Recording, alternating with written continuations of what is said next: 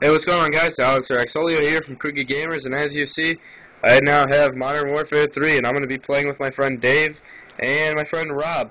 So, I'm just going to go ahead and take this plastic off, and I'll get right back to you guys and show you uh, the goodies inside this bag. Alright, so now we're going to go ahead and open this bad boy up.